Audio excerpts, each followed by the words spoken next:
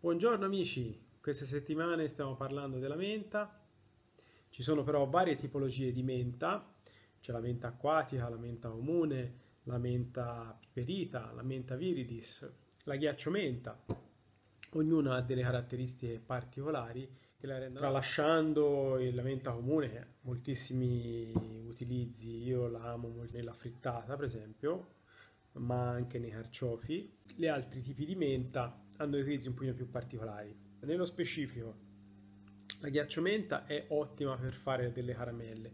Ancora non sono riuscito a trovare una ricetta molto interessante da questo punto di vista, per cui magari mi rivolgo a voi, se ce l'avete, di, di, di condividerle.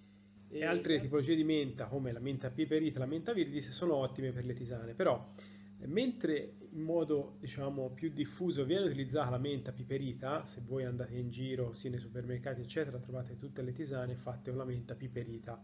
Vi dico però che io ho avuto modo di provare la menta viridis e a mio avviso è molto più saporita e molto più buona della menta piperita, per cui io contrariamente a quello che trovate nella grande distribuzione così eh, sui mercati, vi consiglio di utilizzare la menta viridis per le vostre ricette di tisane. Che dire, mi fermo qua, a presto amici!